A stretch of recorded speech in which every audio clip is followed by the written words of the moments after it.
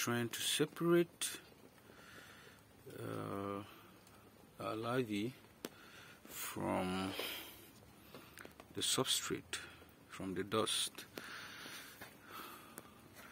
which is the residue that was left from their food. So we are using different sizes of wire mesh. You can see how fast using different sizes of wire mesh so that we can be able to obtain our pure pure larvae leaving the residue behind. And uh, it will also interest you to know that this is the residue which uh, automatically it has become uh, vermicompost, biofertilizer, it's a type of biofertilizer that has been acted upon by these maggots. And uh, it is very, very fertile, very rich in nutrient. It has almost all uh, the components there. There's calcium, uh, which is gotten from the, the, the shells after metamorphosis the shells that they leave behind. There's also the presence of their poops, their saliva, and all the activities has resulted to this uh, vermicompost. So this is also useful, and um, you can just use it to grow your your crop plants.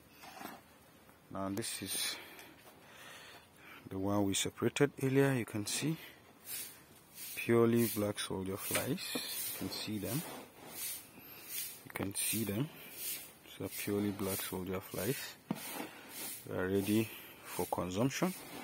You can either feed them directly to your animals your fish your chickens broilers layers turkey and so on or dry it and formulate your concentrate for your birds, your pigs, your dogs, and so on.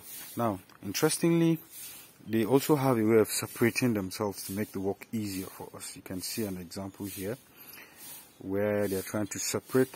Once it is dry, they want a drier environment, so they try to separate from uh, the the substrate, telling you that we are done eating whatever it is useful for us here. We actually either want to to have another new meal or to tell you that we are ready for consumption. So it's easier for us to just you can see how they are separating themselves away from the substrate. So it's easier to actually fetch them here like this and it's just pure. So some may be asking how do you separate? There are different ways to do it and interestingly enough this larvae also have a way of uh, helping us to, to to to do that to achieve that easily. These ones are still here. We'll also be hoping to separate them. They are ready for consumption as well. You can see. Uh, you can see them. Okay.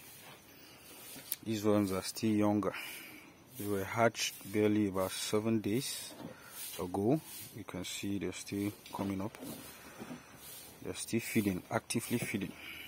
So we are feeding them with rice bran.